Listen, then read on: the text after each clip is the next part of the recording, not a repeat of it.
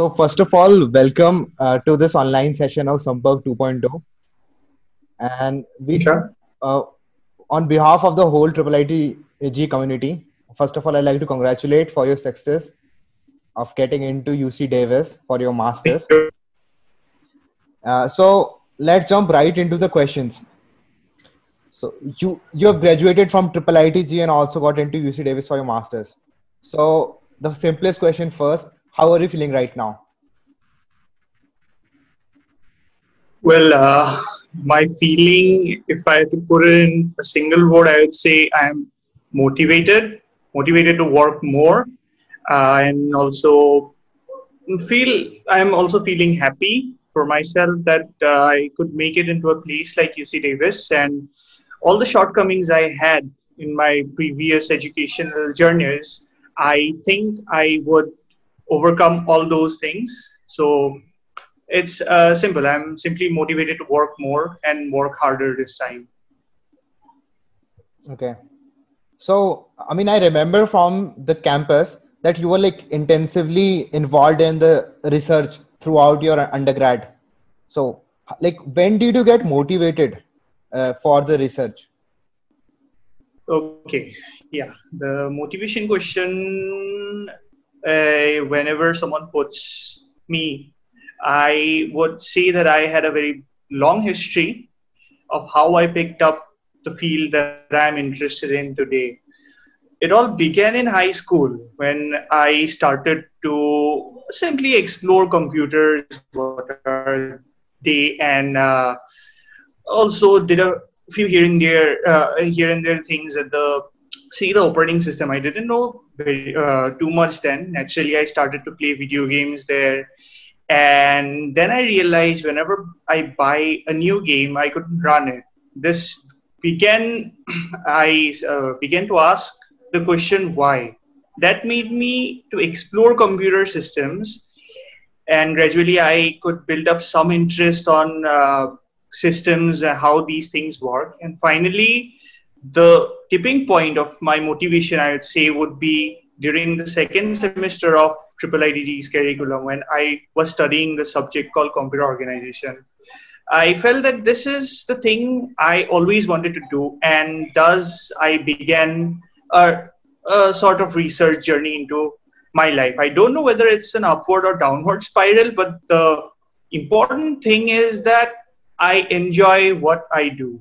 So, that's it. Yeah, that, that's amazing answer. So, like, uh, one thing is that uh, so in our triple ITG, lot of people are doing AI or ML, but you, on the other hand, focus heavily on computer architecture and computer organization in the research.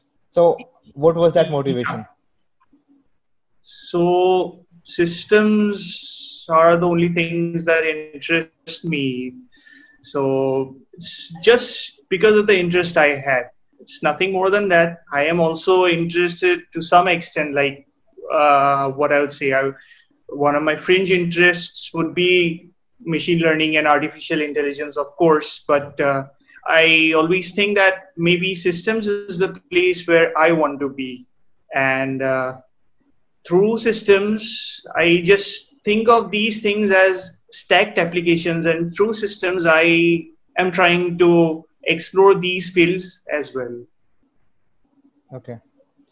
So, like, what's your plan? So, are you planning to go whole uh, into the research even after your masters, or like you're going one step, one step? Yeah, that's the plan. Okay. No, I'm thinking to go for research. I mean, throughout my career, and that's what I'm planning to do, even after completion of my masters. Okay. Okay. Uh, so, uh, one question that all of the people wanted to ask you is that so in our college, uh, sorry, in our institute, we have on average five to six courses and two to three labs in throughout uh, up to sixth or seventh semester. So, how did you manage your research work, research work with your regular courses? Okay, to be honest, I couldn't. At least I couldn't do it till fifth semester. I agree that course distribution in our institute may be a bit unbalanced at certain semesters for some people. I do not deny that. but uh, it's uh, what I'd say is that experience made me learn that. In fifth semester, I didn't do very good in uh, uh in sort of academic wise, and then I started to manage time. So what?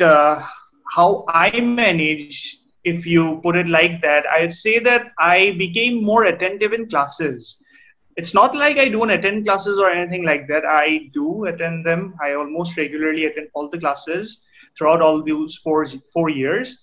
But there is this extra bit of attention that you need to put in your studies. Uh, uh, sorry, put in the classroom, so that on the day before exam, you would remember around say 50% or 60% of the concepts that were taught in class, and rest 40% is your own effort.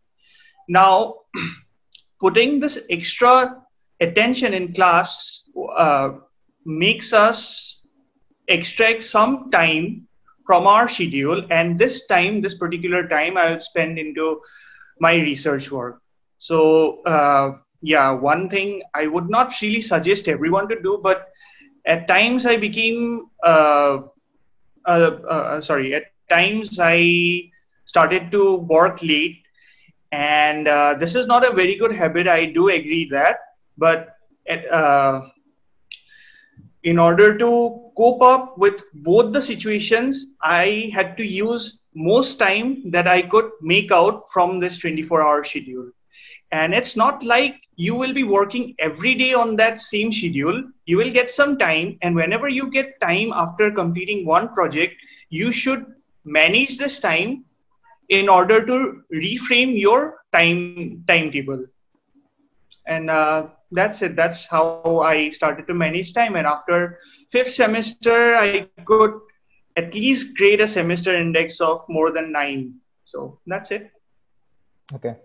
Uh, so uh, in our institute like a lot of the advanced courses that other engineering college students take in their sixth or seventh semester we generally have it before our second year itself.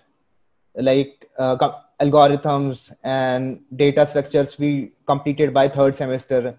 And also we have a computer organization course in uh, third semester as well. So like do you think the academic rigor of our institute help you to take re- research early on yes yes i would completely agree with that statement because uh, computer organizations as you know this uh, computer organization subject is usually taught in uh, I would say fifth or sixth semester in other in engineering institutes. So you only get one year to work on this domain. And at Triple IT, I believe all of the most of the Triple ITs have this particular curriculum where you are taught computer organization in second semester. So you get three years to work on this topic. So there is this uh, uh, there is this time that has been extracted out from this arrangement and this is where i could make out most of my research work in this particular domain and uh, i would also say that courses like data structures and algorithms are put early on these give a very solid foundation to the student community at triple ITG. So I completely agree with your statement. Okay. Uh, okay. So when did you realize that you want to go for uh, a MS abroad. I mean, you could have taken GATE and studied in uh, some IIT or maybe some other research institute in yeah. India. So, when did you realize that you want to go abroad? Yeah. So, uh, this particular motivation came when I was working on my research topics. I started to gather information about uh, those research groups which are uh, sort of famous in the domain of computer organization and architecture. And then I found out that uh, in India, we have best groups at IIT Delhi and IISc Bangalore. But the thing is, these are, I mean, except for these two top groups, other options are quite limited in India. And also, opportunities for such uh, opportunities in these research groups outside India uh, has a larger benefit, I would say, because uh, the level of work they do is fundamentally different than what we do. So I just wanted to get this experience of how they exactly work in this domain. I mean, uh, I've seen some A-star conferences where it's uh, it's like picking up one very small idea, but then you would present your findings or present your method in such a way that it becomes quite interesting. The problem becomes quite interesting in itself. It's like they try to solve those fundamental ideas, and we also have them in India, but the number of such groups are limited in India. So I thought maybe it's better if I go for GRE rather than GATE. Okay. So, like, uh, I was talking to some of your batchmate who are also going abroad for their studies, specifically US. So, like, most of them had deferred their admission to uh, 2021. So, are you also joining in 2021 yes, or this I'm, year? Yes, I'm joining in 2021. Preferably, I think I'll be joining in a spring semester, not in fall semester, because if I join in fall, I'll be sort of dropping one complete year. Okay. But even in spring semester, I have a few months in my hands, so I think I'll be spending in some research work here, completing everything, and then moving on in, I'd say March or April next year. So, like, uh, are you still working on uh, some project with yeah. any of our professors? I'm finishing up all of my projects. Those are pending at the moment. I started working on a few projects when I was at Triple ITG, and uh, since I'm out now, I have a few pending projects still, which I am completing as fast as I can now. And maybe I'll be picking up a new project in this particular time frame as well because I have time. So yeah. Okay. Uh, so like uh, one more question, the lot of uh, people are asking is that like when did you started applying for the college, uh, for, in the foreign? Okay, yeah, the applications start. I guess the portals open up in the month of September for the fall semester, next year's fall semester, and most of the applications that I did had a deadline in and around December, except a few in the month of January. And also, if you're targeting European institutions, then deadlines would be, say, around March or April. Okay uh, uh, one of the major problem faced by Indian student who are going abroad, especially from the middle class, is that uh, funding part of their their master graduation masters. So, like, how you are solving that? Are you working uh, till March, or like how you are? Are you getting any scholarship? Oh no, no. Uh, not exactly i didn't really got any scholarships but what i'm trying to find is a assistantship program at uc davis so if i'm able to find one it may be a research in, uh, assistantship or teaching assistantship or even project assistantship but if i am able to get either of these i mean any one of these then it will help me on the funding as- aspect a lot because you know education abroad is costly and uh, living there is also costly. So there are two things particularly involved. One is the tuition fees and one is the living cost. So if i could even make up money via assistantships for either of them it will help me a lot okay so now the next set of questions are mainly going to about our institute triple IIT Guwahati. So the first question that came up was that like mention two most influential people on the campus that that have helped you it could be a people or it could be a group of people or maybe something about okay. the institute that influenced you throughout these four years okay so i cannot pinpoint exactly two specific people or things at triple itg but uh, what I uh, uh, means from what I got motivation is a simple thought. I have seen there are people at Triple ITG who thinks that this is a new institute and we should, I mean, the group of people should dedicate themselves to work in order to make a name for the institute in the future or like dedicate their entire research work or entire uh, management in order for uh, uh, for the betterment of the institute so that the institute gets some kind of importance in the national level. And uh, to be honest after observing after observing people who are so much dedicated i got motivated myself as well I would like to say our director, sir, Professor Gautam Barua, is one of those people. I would also say my uh, guide, Dr. Dip Sankar Banerjee, on uh, I mean, so who has also motivated me on this particular aspect. And when Dr. Shirshendu sir was here in the campus, he is particularly interested in the domain of computer architectures, where he had his PhD as well. So after observing them, I felt like maybe I should also step up alongside them and probably make a name for the institute. And this is what has kept me going. Okay, amazing. That's amazing. So, uh, can you mention one thing that you're going to miss about this institute, or maybe you're already missing it? So, uh, every experience that I had, like if you particularly pinpoint the triple ITG experience, I had four years of it, two years at a temporary campus and two years in the permanent campus. What I would like to point out is that every single experience you have in either of these campuses are quite unique in themselves.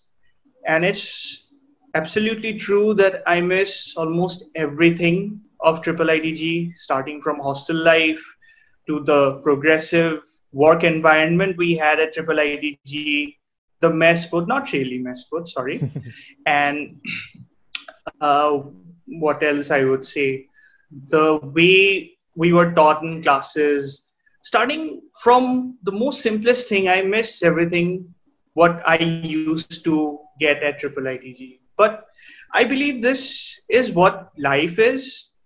You have to cherish each and every moment that you get. And when the time comes, I believe it's best to let go and move forward. Okay.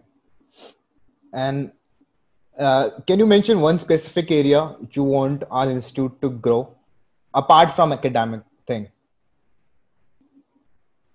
Okay. Okay. Uh, yeah, that might be difficult for me because I've spent almost zero time in other activities than academic and research at Triple ITG. But or maybe whatever, yeah, sure. uh, whatever you like, any area, even acad- academic, uh, not, anything.